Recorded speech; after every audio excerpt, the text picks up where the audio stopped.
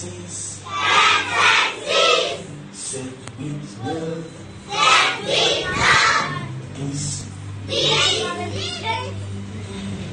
This movement.